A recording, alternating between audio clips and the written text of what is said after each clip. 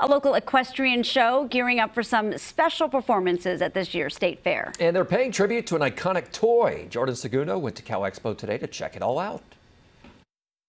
It was a parade of pink Wednesday at Cal Expo as these life-size Barbies and their horses showed off moves from their upcoming performances. We're going to have our giant pink trailer, tons of accessories, and all kinds of amazing uh, Barbies here as well. And I am Ballerina Barbie. And I'm 80s Barbie. I'm going as Olympic Barbie. And I'm going as Cowgirl Barbie.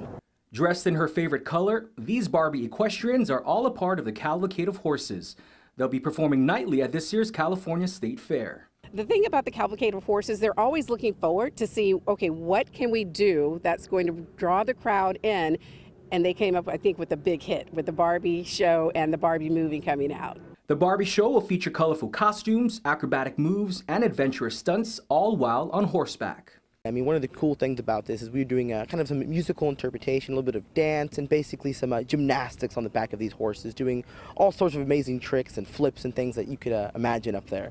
You can catch the Cavalcade of Horses Barbie Show at the 2023 California State Fair this July. Hi, Ken.